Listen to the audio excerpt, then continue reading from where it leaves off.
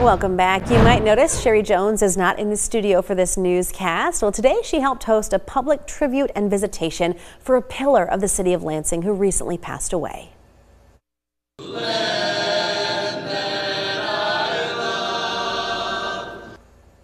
Today's public tribute honors the life of Alfreda Schmidt. She was a longtime activist and public servant in the capital city who passed away on April 14th at the age of 97.